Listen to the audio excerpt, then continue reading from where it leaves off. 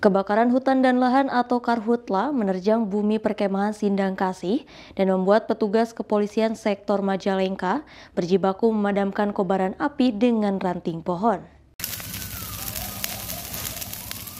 Kebakaran terjadi kembali di Kabupaten Majalengka, namun kali ini api mengamuk di lahan hutan atau karhutla yang menerjang bumi perkemahan Sindang Kasih, Kabupaten Majalengka, Jawa Barat, sehingga membuat petugas kepolisian sektor Majalengka berjibaku memadamkan kobaran api dengan ranting pohon.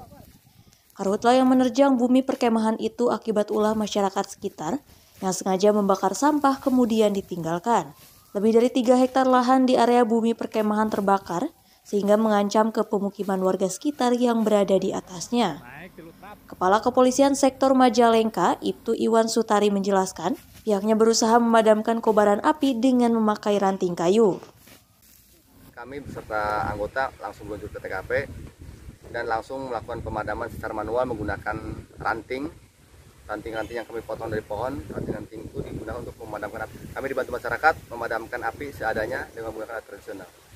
Itu memang sumber api sengaja atau gimana komandan?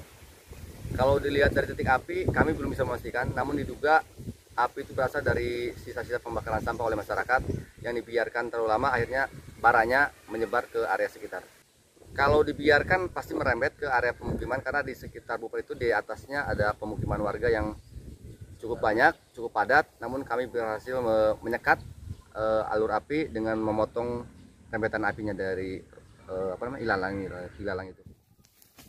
Pihak kepolisian Resor Majalengka telah memberikan edukasi ke warga untuk tidak membakar sampah dan membuang puntung rokok sembarangan untuk mencegah terjadinya karhutla. Dari Majalengka, Jawa Barat, Udin Pepe melaporkan.